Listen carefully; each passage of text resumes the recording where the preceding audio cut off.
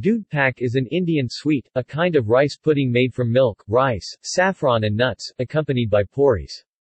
The milk is slow-boiled to thickened and sweetened and the dish is garnished with chopped almonds. Doodhpak originates from Gujarat.